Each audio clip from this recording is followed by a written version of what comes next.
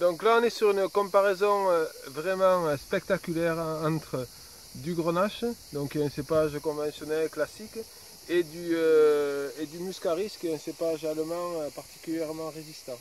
Donc là on est chez un voisin, bon ça n'a pas forcément toujours été très bien tenu, mais c'est pour montrer un peu la virulence de l'attaque. On a l'ensemble des feuilles de la base ont été complètement détruites par le milieu.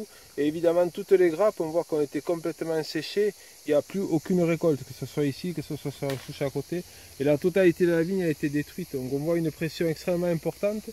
Et de l'autre côté du chemin, on est à quelques mètres de là, on voit que cette vigne qui a absolument reçu aucun traitement avec un pouvoir de contamination à côté du couronnage absolument énorme.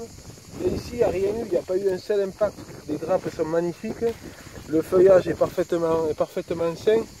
Euh, voilà, c'est une vigne absolument irréprochable. On est en troisième année de production, en troisième feuille, on va être en première année de production, on aura une jolie petite récolte. Et, tout ça sans aucun traitement, sans aucun pesticide, dans une année particulièrement difficile. Donc c'est prometteur et c'est vraiment l'avenir de notre, de notre viticulture.